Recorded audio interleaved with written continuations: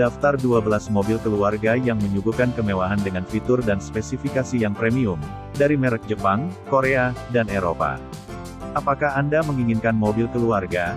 Mobil baris bawah bisa dijadikan mobil keluarga, bahkan mungkin oleh semua anggota keluarga besar, karena kapasitasnya yang besar. Selain itu tampilannya yang mewah dan berkualitas juga membuat kita semakin nyaman saat berkendara. Yuk simak ulasannya.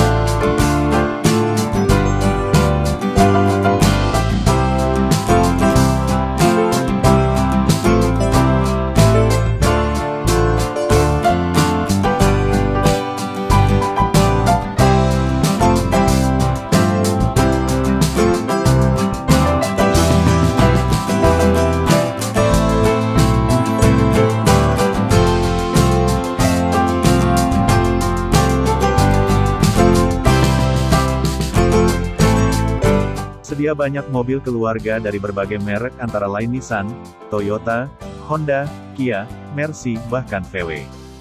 Kami membahas semuanya mulai dari merek Jepang, hingga merek Eropa. 1. Nissan Serena. Walaupun Nissan Serena tidak begitu populer dan kurang diminati masyarakat, namun merupakan mobil keluarga yang banyak digunakan oleh banyak keluarga. Harganya sekitar 465 sampai 509 juta rupiah. Desain persegi dan elegan generasi terbaru dilengkapi dengan banyak fungsi.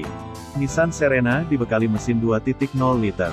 Sejak diluncurkan pada tahun 1990-an, MPV mewah ini menjadi pilihan masyarakat Indonesia. Sejak dirilis, mobil ini telah mendapatkan tiga generasi dan model. Keunikan lain dari Nissan Serena adalah eksteriornya yang terkesan kental dengan gaya Jepang.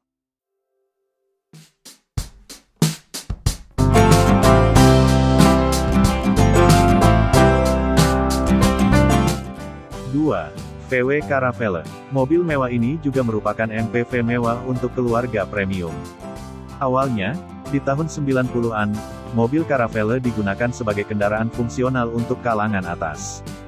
Sejak 2016, Caravelle identik dengan cita rasa Eropa, tersedia dengan bensin 2.0 turbo Gold GTI.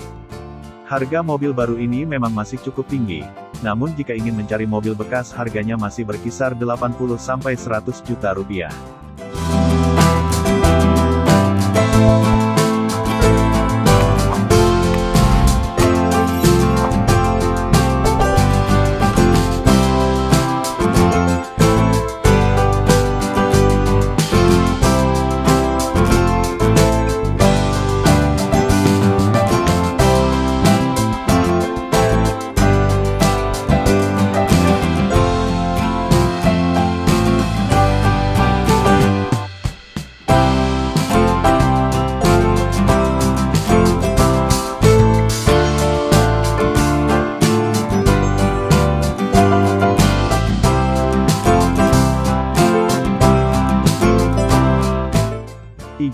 Toyota New Venturer.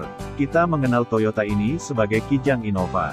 Namun belakangan, generasi terbaru diluncurkan dan menempatkan merek Toyota New Venturer di garis depan. Mobil keluarga ini menjadi pilihan yang lebih mewah dari Kijang Innova. Harga mobil ini sekitar 419 juta rupiah. Dengan harga tersebut, kami mendapatkan kenyamanan terbaik di kelas mobil MPV.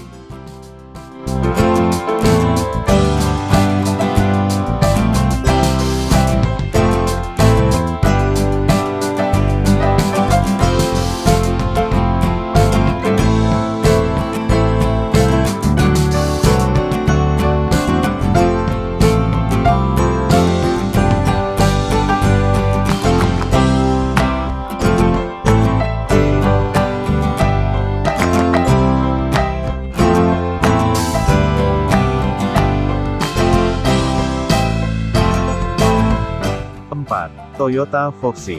Mobil ini merupakan pesaing terdekat Nissan Serena di segmen premium MPV. Kapasitas mesinnya juga sama, 2000 cm3. Keunikan Toyota Foxy adalah dua unit sunroof depan dan tengah. Ukuran interior yang lapang membuat mobil ini cocok disebut sebagai mobil keluarga yang mewah. Diberi nama Baby Alphard, Toyota Foxy dibanderol 510 jutaan.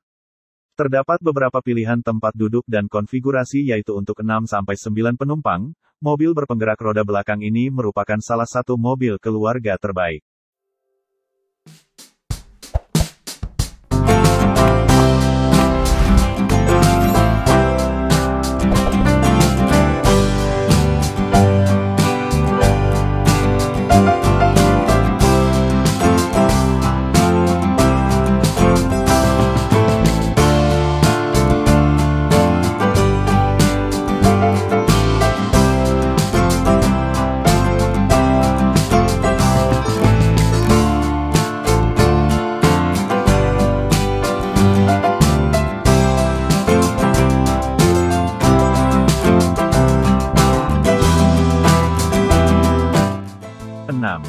Honda Odyssey.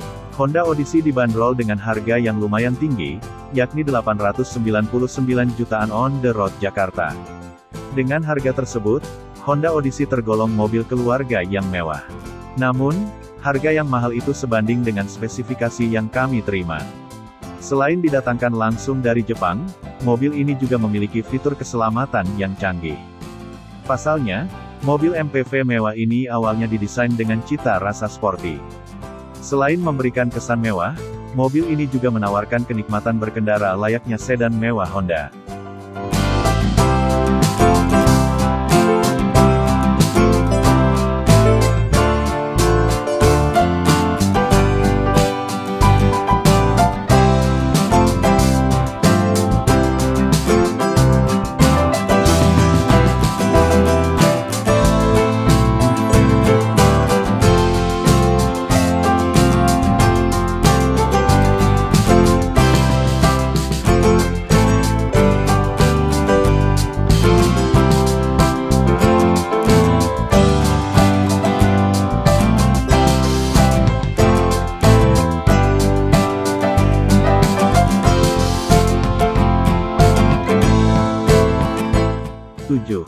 Hyundai Staria Hyundai Staria juga dijual dengan harga yang sangat terjangkau yakni 888 sampai 1 miliar rupiah.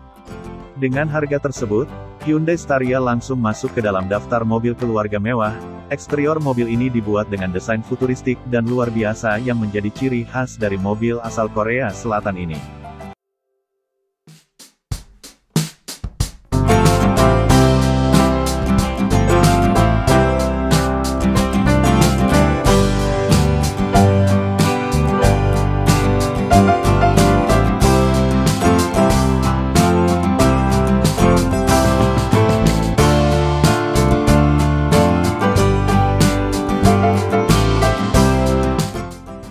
8.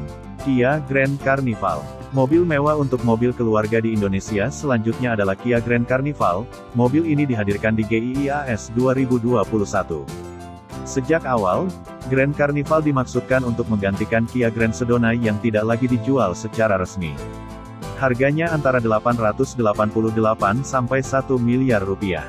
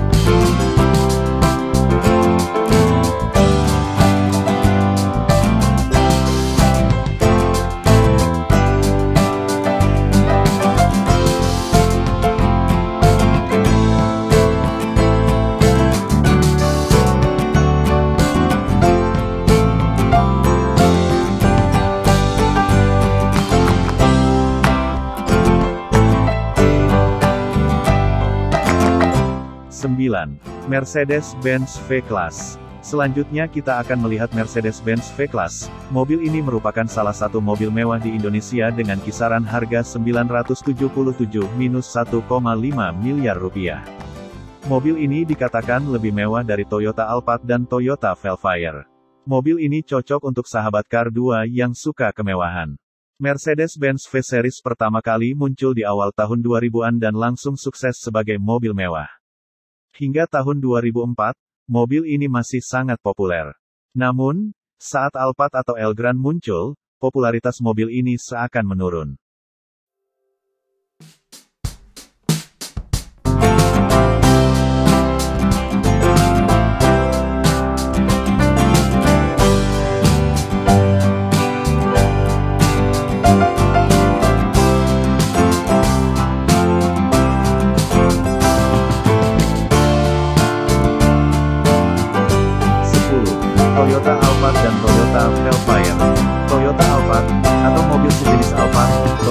Velfire merupakan standar mobil mewah di Indonesia.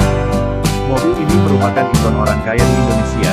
Harga mobil Alphard sekira 1,1 miliar rupiah dan Toyota Velfire sekira 1,2 miliar rupiah. Meski harganya cukup mahal, mobil ini masih mudah ditemukan di pasaran. Toyota Alphard tersedia dalam dua pilihan mesin, yakni 2.4 liter dan V6 3.5 liter.